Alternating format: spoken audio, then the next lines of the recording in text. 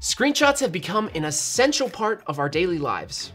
You can use them to demonstrate a process and share feedback with your team. And who doesn't like to send funny memes?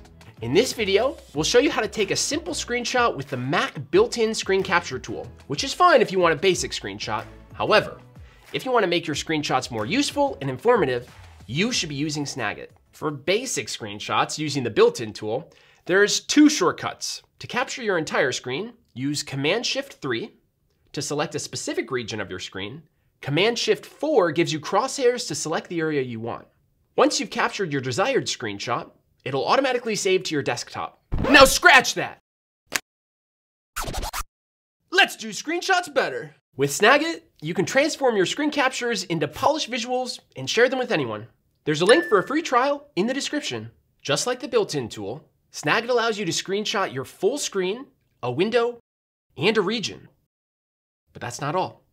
Open Snagit, choose the Image tab, and look for the Selection dropdown. Then pick the option that best matches your needs.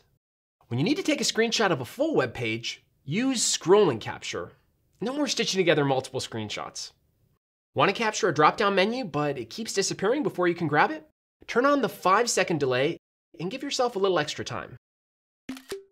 Whatever you need, Snagit has you covered.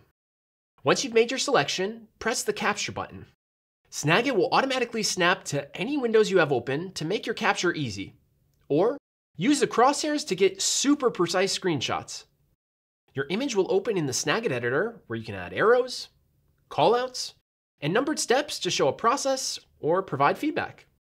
Use the cutout tool for those times that you want to share analytics, but not all the analytics. You can combine multiple screenshots into one by dragging and dropping them from the recents tray. Use the magnifier tool to show off your last video's tremendous engagement.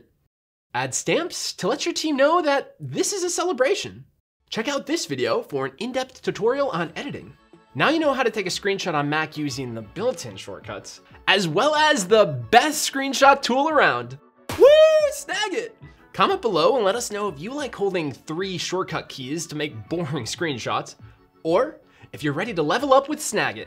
If you enjoyed this video, give it a like, and if you haven't already, subscribe to our channel for more great content. Thanks for watching.